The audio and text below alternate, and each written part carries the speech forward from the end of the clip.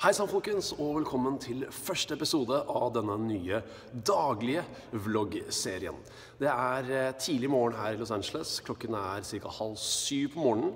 Akkurat pakket bilen, og nå skal jeg dra til Las Vegas, som er første stopp på eh, denne roadtripen.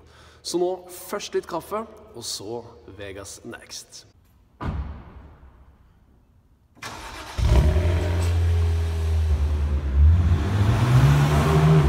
Så jeg var litt kjapp på avtrekkeren. Først så må jeg innom eh, stamstedet mitt, Le Pain Coudenier, for en kjapp frokost.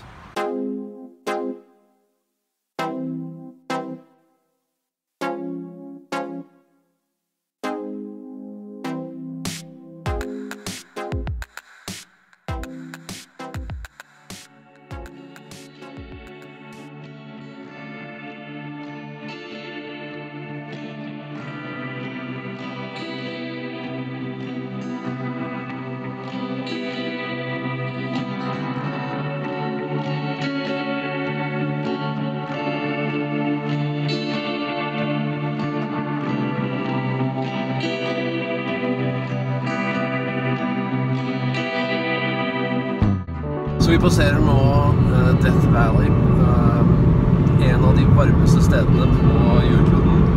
Og litt spesielt å være her, og det er uh, snaue 20 grader. Men eh, fortsatt er det vel kanskje fortsatt litt varmere enn de fleste steder i Norge.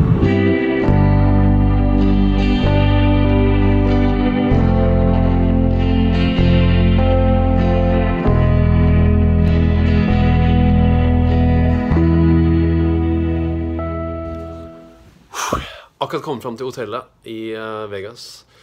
Eh, Paris Hotel. Aldri vært her sånn tidligere. De har akkurat gjort om litt. Det ser egentlig ganske så ok ut.